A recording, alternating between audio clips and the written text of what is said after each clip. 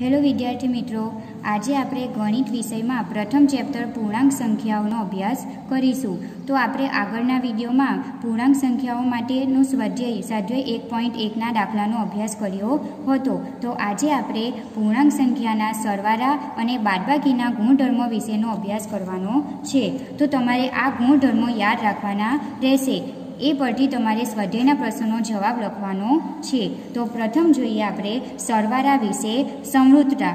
હવે સમૃદ્ધતા એટલે શું? કે જો તમે બે પૂર્ણાંક સંખ્યાઓ, આ કયો પૂર્ણાંક કહેવાશે? સત્તર, એ ધન પૂર્ણાંક છે અને ત્રેવીસ એ પણ ધન પૂર્ણાંક છે. જો આપણે બે ધન પૂર્ણાંકોનો સરવાળો કરીએ, એટલે કે સત્તર વત્તા ત્રેવીસ કરીએ, તો જવાબ આવે છે ચાલીસ. ચાલીસ એ પણ શું છે? પૂર્ણાંક જ છે. હવે તમને ખબર છે કે પૂર્ણાંક સંખ્યામાં કઈ સંખ્યાનો સમાવેશ થાય?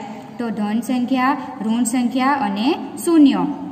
આ ત્રણ સંખ્યાનો સમાવેશ પૂર્ણાંક સંખ્યાઓમાં કરવામાં આવે છે. એટલે કે બે ધન પૂર્ણાંકોનો સરવાળો કરવામાં આવે, તો પણ આપણને એક પૂર્ણાંક સંખ્યા જ મળે છે. અહીં આપણને ધન પૂર્ણાંક સંખ્યા મળે છે. તો સરવાળા વિશે સમૃદ્ધતા એટલે કે શું? કે જો કોઈ પણ બે પૂર્ણાંક સંખ્યાઓનો સરવાળો કરવામાં આવે, તો જે જવાબ મળે છે તે પણ આપણને પૂર્ણાંક સંખ્યા જ મળે છે. એટલે એવું કહી શકાય કે પૂર્ણાંક સંખ્યાઓ સરવાળા વિશે સમૃદ્ધ છે. હવે બીજું ઉદાહરણ જોઈએ. એક ઋણ સંખ્યા લીધી છે અને એક ધન. ઓછા વત્તા ઓછા. તો દસમાંથી ત્રણ જાય તો કેટલા આવશે?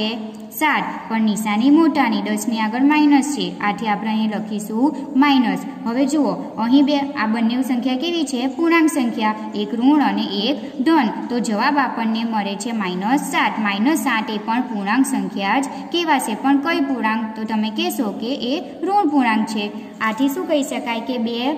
પૂર્ણાંક સંખ્યાઓનો સરવાળો કરવામાં આવે તો જવાબ આપણને પૂર્ણાંક સંખ્યા જ મળે છે. ત્રીજું ઉદાહરણ જોઈએ. દસ એ ધન સંખ્યા છે ને ઓછા છ. પહેલાં આપણે સાદુરૂપ આપી દઈએ. દસ વત્તા ઓછા ઓછા તો ઓછા છ. હવે એક ધન અને એક ઋણ સંખ્યા તો વત્તા ઓછા ઓછા એટલે દસમાંથી છ જાય તો જવાબ શું આવશે? ચાર. આ પણ શું છે? એક પૂર્ણાંક સંખ્યા છે, પણ ધન પૂર્ણાંક છે. આથી કહી શકાય કે પૂર્ણાંક સંખ્યાઓ સરવાળા વિશે સમૃદ્ધ છે. એ જ રીતે હવે બાદબાકી વિશે સમૃદ્ધતા ચેક કરીએ. તો અહીં એક ધન સંખ્યા અને એક ઋણ સંખ્યા એટલે કે વત્તા ઓછા ઓછા. તો નવમાંથી સાત જાય તો કેટલા આવશે? બે. પણ કેવા? તો નવ મોટી સંખ્યા છે એના આગળ માઇનસ એટલે અહીં શું આવશે? ઓછા બે. માઇનસ બે. જો બે ધન સંખ્યા અને ઋણ સંખ્યા એની બાદબાકી કરી, તો જવાબ આપણને શું મળી? એક પૂર્ણાંક સંખ્યા જ મળે છે. અહીં આપણને ઋણ પૂર્ણાંક જવાબમાં મળે છે. આથી જો બે પૂર્ણાંક સંખ્યાઓની બાદબાકી કરવામાં આવે, તો પણ આપણને અહીં એક પૂર્ણાંક સંખ્યા જ મળે છે. પૂર્ણાંક સંખ્યા તરીકે તમારો જવાબ કોઈ પણ આવી શકે. શૂન્ય પણ આવી શકે, ધન પૂર્ણાંક પણ આવી શકે અને ઋણ પૂર્ણાંક પણ આવી શકે. હવે બીજું લઈએ. દસ. હવે આપણે પહેલાં કૌંસનું સાદુરૂપ પ્રથમ આપીશું. તો ઓછા ઓછા વત્તા. એટલે વત્તા પાંચ. તો દસ વત્તા પાંચ કેટલા થશે? પંદર. આ પણ શું છે? એ પૂર્ણાંક સંખ્યા છે, ધન પૂર્ણાંક છે. આથી બે પૂર્ણાંક સંખ્યાઓની જો બાદબાકી કરવામાં આવે, તો પણ આપણને અહીં પૂર્ણાંક સંખ્યા જ મળે છે. આથી શું કહી શકાય કે પૂર્ણાંક સંખ્યાઓ બાદબાકી વિશે સમૃદ્ધ છે? જે આપણે આ ઉદાહરણ પરથી ચેક કર્યું. હવે ત્રીજો નિયમ છે ક્રમનો ગુણધર્મો. ક્રમ એટલે શું? કે તમે જો ત્રણ વત્તા પાંચ કરો તો કેટલો જવાબ આવશે? તો તમે કહેશો કે આઠ આવશે. અને આપણે શું કરીએ? બીજી વાર પાંચને પ્રથમ લખીએ અને ત્રણને પછી લખીએ. એટલે કે આપણે ક્રમ બદલીએ છીએ. તો પાંચ વત્તા ત્રણ કરો તો જવાબ શું આવશે? આઠ જ આવશે. આથી શું કહી શકાય કે સર, પૂર્ણાંક સંખ્યાઓ સરવાળા માટે ક્રમનો ગુણધર્મ ધરાવે છે. એટલે કે આપણે સરવાળામાં કોઈ પણ અંક બદલીએ, ક્રમ બદલીએ, તો પણ જવાબ કેવો આવે છે? સરખો જ આવે છે. હવે બીજું ઉદાહરણ ચેક કરીએ. અહીં શું થાય? વત્તા ઓછા ઓછા, તો ઓછા પાંચ. વત્તા ઓછા શું થશે? ઓછા અને છ. તો પછી વત્તા ઓછા ઓછા છમાંથી પાંચ જાય તો કેટલા આવશે? તો તમે કહેશો કે એક, પણ કેવા? ઓછા એક. અહીં ઓછા એક જવાબ આવે છે. હવે આ જવાબ ચેક કરીએ. તો ઓછા વત્તા ઓછા. છમાંથી પાંચ જાય તો જવાબ શું આવશે? એક, પણ કેવા?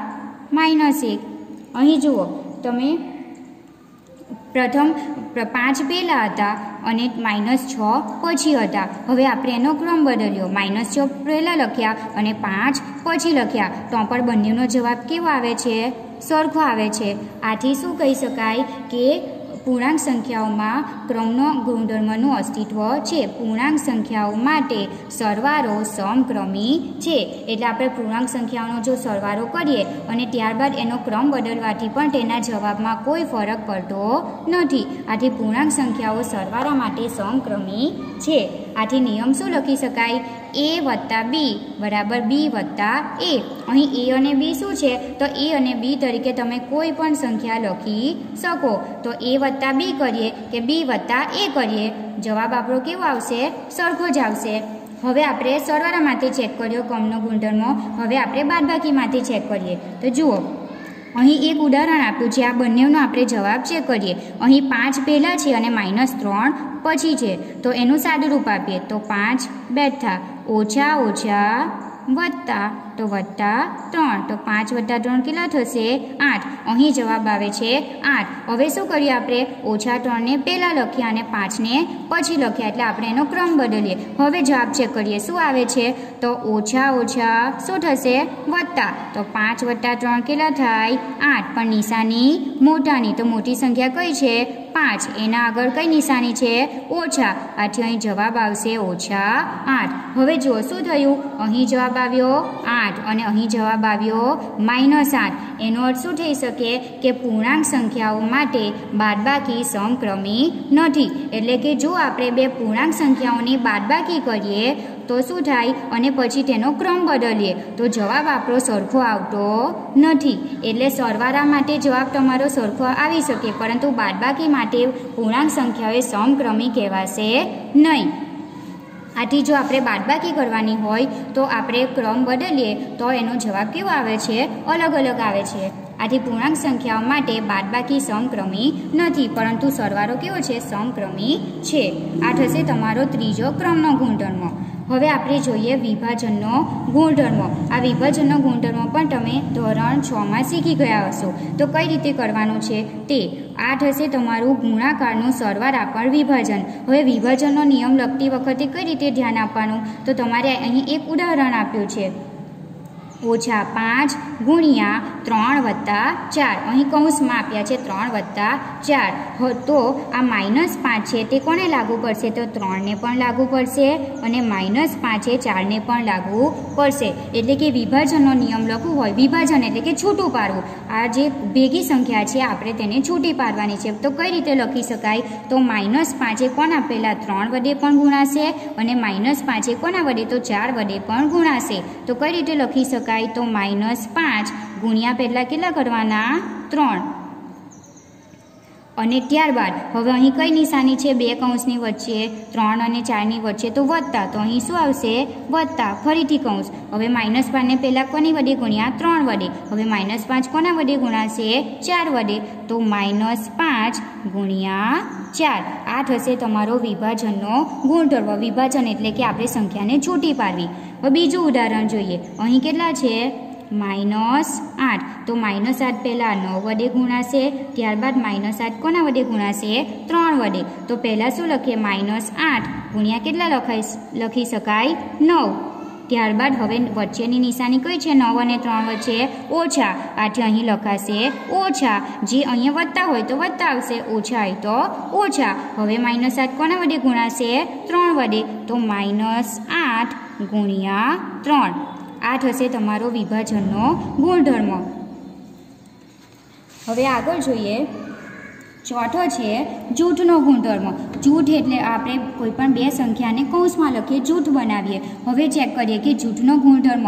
આપણે કોઈપણ જૂઠ બનાવીએ તો જવાબ કેવો આવે છે? તે તમારે અહીં ચેક કરવાનું છે. તો આપણે ચેક કરીએ. પહેલાં માઇનસ પાંચ આપણે શું છે? પહેલાં જૂઠ કોનું બનાવ્યું છે?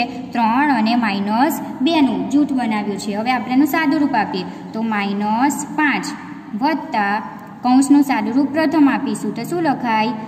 ત્રણ વત્તા ઓછા ઓછા તો ઓછા બે. બરાબર, ઓછા પાંચ વત્તા. હવે શું થશે? આ વત્તા ત્રણ છે અને આ ઓછા બે, તો વત્તા ઓછા ઓછા, એટલે ત્રણમાંથી બે જાય તો કેટલા આવશે? એક. ઓછા વત્તા ઓછા. પાંચમાંથી એક જાય તો કેટલા આવશે? ચાર. પણ નિશાની મોટા ને એટલે પાંચની આગળ માઇનસ એટલે અહીં જવાબ આવશે તમારો માઇનસ ચાર. હવે અહીં શું કર્યું છે? જુઓ. જૂથ હતું પહેલાં ત્રણ અને માઇનસ બેનું હવે જૂથ બનાવ્યું છે તમારે માઇનસ પાંચ અને ત્રણનું અને માઇનસ બેને અલગ લખ્યા. એટલે અહીં આપણે જૂથમાં ફેરફાર કરીએ છીએ. તો જવાબમાં ફેરફાર થાય છે કે નહીં તે આપણે અહીં ચેક કરીએ. તો પહેલાં સાદુરૂપ આપીએ. ઓછા વત્તા ઓછા. તો પાંચમાંથી ત્રણ જાય તો કેટલા આવશે? બે. હવે મોટી સંખ્યા પાંચ. એના આગળ માઇનસ એટલે જવાબ આવશે આપણો માઇનસ બે. ત્યારબાદ અહીં કરીએ. વત્તા ઓછા ઓછા. આથી શું થશે? ઓછા બે. પહેલાં આ બેનું સાદુરૂપ આપીશું અને આ નિશાનીનું. હવે ચેક કરીએ. ઓછા ઓછા વત્તા. તો બે વત્તા બે કેટલા થશે? ચાર. પણ નિશાની મોટાની હવે બંને સંખ્યા સરખી છે, એટલે અહીં શું આવશે? માઇનસ ચાર. હવે જુઓ, અહીં પણ માઇનસ ચાર જવાબ આવ્યો અને અહીં પણ માઇનસ ચાર જવાબ આવ્યો. આથી શું કહી શકાય કે તમે સરવાળામાં કોઈ પણ જૂથ બનાવો તો તમારો જવાબ કેવો આવે છે? સરખો. ભલે તમે કોઈ પણ જૂથ બનાવી શકો, અહીં ત્રણ અને માઇનસ બેનું હતું. ત્યારબાદ આપણે જૂથને બદલી કર્યું શું કર્યું? માઇનસ પાંચ અને ત્રણનું જૂથ બનાવ્યું. તો પણ આ બંને જવાબ કેવો આવ્યો? સરખો આવ્યો આથી શું કહી શકાય કે પૂર્ણાંક સંખ્યાઓ સરવાળા માટે જૂથના ગુણધર્મનું અસ્તિત્વ ધરાવે છે. જૂથનો ગુણધર્મ લખવો હોય તો કઈ રીતે લખી શકાય? એ વત્તા બી વત્તા સી પહેલાં બી વત્તા સીનું જૂથ બનાવ્યું. ત્યારબાદ શું ફેરફાર કર્યો? એ વત્તા બીનું જૂથ બનાવ્યું અને સીને અલગ લખ્યા. આથી એ બી સી એ તમે કોઈ પણ સંખ્યા લખીને ચેક કરી શકો. તો પણ તમારો જવાબ કેવો આવશે? બંનેનો જવાબ તમારો સરખો જ આવશે.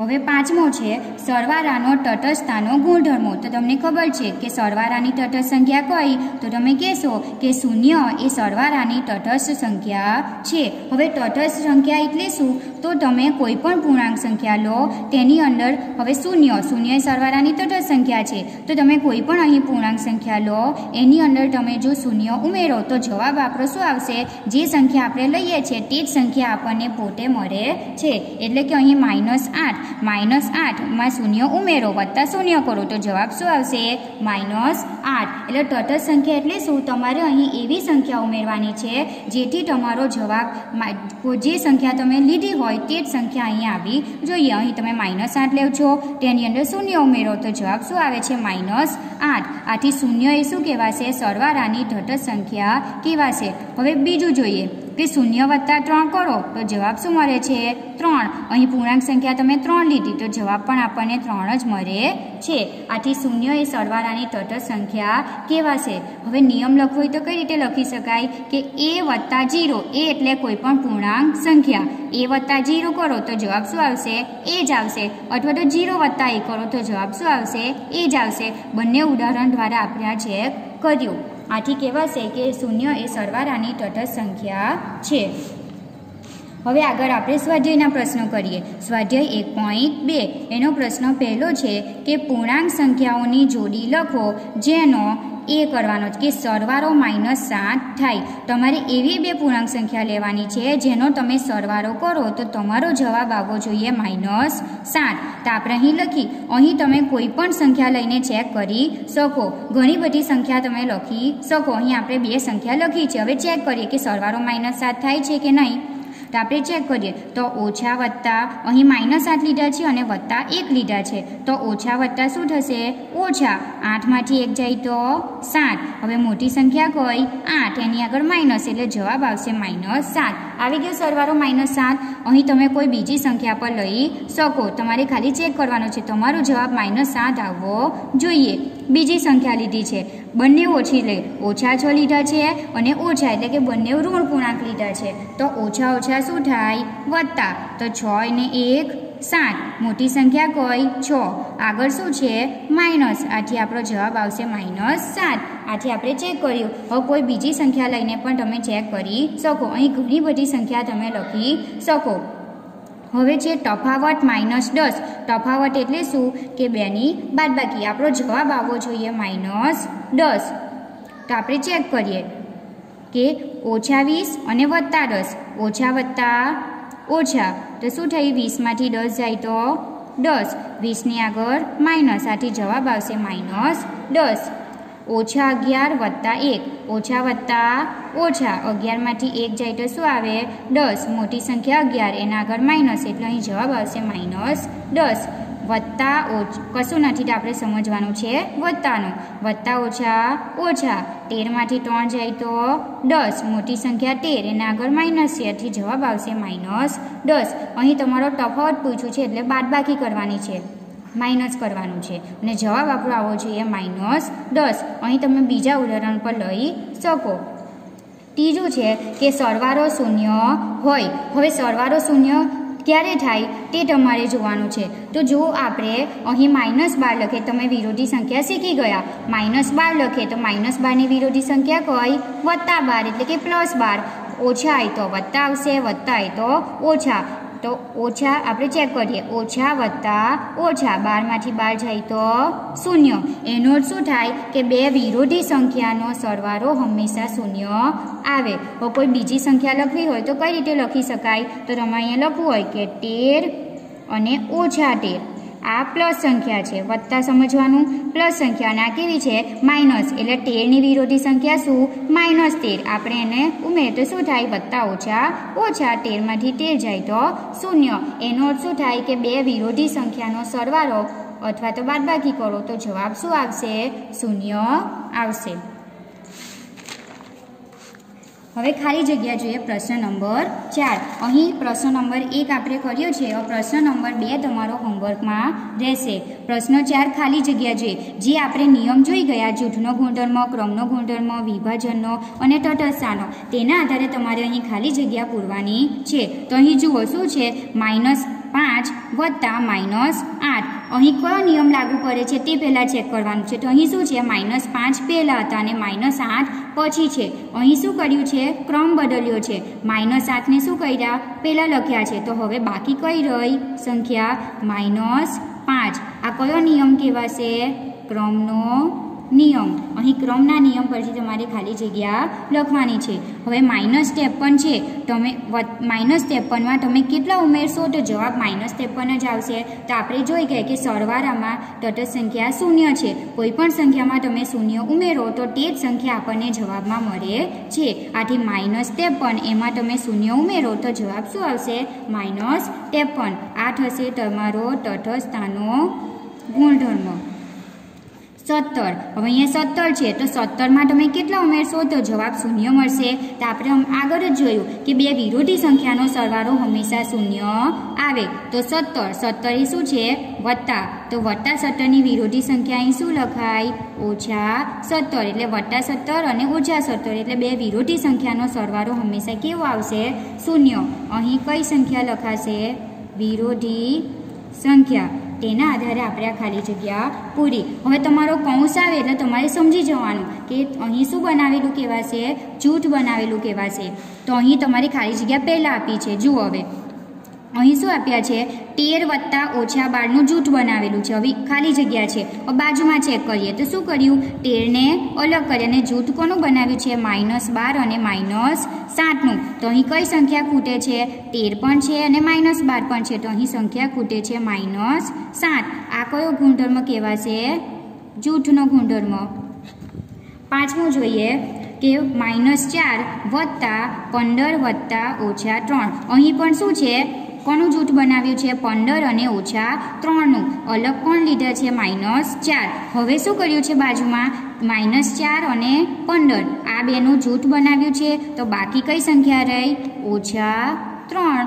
અહીં પણ શાનું કયા ગુણધર્મો છે? તો જૂથનો ગુણધર્મ. અહીં કૌંસ આપેલા જ હશે. એટલે તમને ખ્યાલ આવશે કે અહીં જૂથ બનાવેલું છે. આથી અહીં જૂથના ગુણધર્મ પ્રમાણે તમારે ખાલી જગ્યા પૂરવાની છે. હવે છે પ્રશ્ન ત્રણ. તો ક્વિઝના ત્રણ ક્રમિક રાઉન્ડ પછી ટીમ એના ગુણ માઇનસ ચાલીસ, દસ અને શૂન્ય છે અને ટીમ બીના ગુણ દસ, જીરો અને માઇનસ ચાલીસ છે. કઈ ટીમના ગુણ વધુ હશે? પહેલાં આપણે આ પ્રશ્નનો જવાબ મેળવીએ. હવે ટીમ એના ગુણ છે માઇનસ ચાલીસ, દસ અને શૂન્ય. ટીમ બીના ગુણ છે દસ, જીરો અને માઇનસ ચાલીસ. હવે તમે જોવા જઈએ તો શું લાગે છે તમને? ખાલી ક્રમ બદલ્યા છે. બંને ગુણ કેવા લાગે છે? સરખા. પણ આપણે ચેક કરવા તો કઈ રીતે કરી શકાય? તો આપણે શું કરીએ? ટીમ એના કુલ ગુણ મેળવીએ અને ટીમ બીના કુલ ગુણ મેળવીએ. બંનેમાંથી જે ઓછા વત્તા હશે એના પરથી તમને ખબર પડી જશે કે કઈ ટીમના ગુણ વધુ છે. તો ટીમ એના કુલ ગુણ. કુલ ગુણ એટલે શું કરવાનું? બધાનો સરવાળો. ઓછા ચાલીસ વત્તા દસ અને વત્તા શૂન્ય. તો શું જવાબ આવશે? આપણે ચેક કરીએ. આપણે બે સંખ્યાને પ્રથમ લઈએ. ઓછા ચાલીસ વત્તા વત્તા વત્તા. દસમાં શૂન્ય ઉમેરો તો જવાબ શું આવશે? દસ. ઓછા વત્તા ઓછા. ચાલીસમાંથી દસ જાય તો કેટલા આવશે? ત્રીસ. મોટી સંખ્યા ચાલીસ. એના આગળ માઇનસ એટલે આપણો જવાબ આવશે માઇનસ ત્રીસ હવે શું કરીએ? ટીમ બીના કુલ ગુણ. કેટલા છે? દસ વત્તા શૂન્ય વત્તા ઓછા ચાલીસ. અહીં આપણે કુલ ગુણ એટલે શું કરવાનું? સરવારો દસ વત્તા શૂન્ય એટલે જવાબ આવશે દસ. વત્તા ઓછા ઓછા એટલે ઓછા ચાલીસ. કશું નહીં એટલે શું સમજવાનું? વત્તાની નિશાન. વત્તા ઓછા ઓછા ચાલીસમાંથી દસ જાય તો ત્રીસ. મોટી સંખ્યા ચાલીસ. એના આગળ શું છે? માઇનસ. આથી જવાબ આવશે માઇનસ ત્રીસ. હવે પહેલો પ્રશ્ન હતો કઈ ટીમના ગુણ વધુ છે? તો અહીં શું આવ્યું? બંનેના કુલ ગુણ કેવા આવ્યા? સરખા. એટલે કોઈ પણ એક ટીમના ગુણ સર ગુણ વધારે નથી. તો તમારો જવાબ અહીં શું લખી શકાય? કે બંને ટીમના ગુણ સરખા છે. આ થશે તમારો પહેલા પ્રશ્નનો જવાબ. હવે બીજો જોઈએ. શું આપણે કહી શકીએ કે પૂર્ણાંક સંખ્યાઓને કોઈ પણ ક્રમમાં ઉમેરી શકીએ? તો આપણે પહેલાં જોઈ ગયા ક્રમનો નિયમ. તો તમે કીધું હતું કે ઉમેરવાનું એટલે કે સરવાળો. તો પૂર્ણાંક સંખ્યાઓને સરવાળાની અંદર આપણે કોઈ પણ ક્રમમાં ઉમેરી શકીએ. આપણે આગળ જ જોઈ ગયા કે ત્રણ વત્તા આઠ કરો, કે આઠ વત્તા ત્રણ કરો. બંનેનો જવાબ કેવો આવે છે? સરખો એટલે સરવાળા માટે પૂર્ણાંક સંખ્યાને આપણે કોઈ પણ ક્રમમાં ઉમેરી શકીએ. તો જવાબ આવશે તમારો અહીં, હા, પૂર્ણાંક સંખ્યાઓને કોઈ પણ ક્રમમાં આપણે ઉમેરી શકીએ છીએ. જવાબ આવશે તમારો, હા, કારણ કે પૂર્ણાંક સંખ્યાઓ સરવાળા માટે સમક્રમી છે. કોઈ પણ તમે ક્રમમાં ઉમેરી શકો છો. અહીં તમારે પ્રશ્ન બે હોમવર્કમાં કરવાનો રહેશે.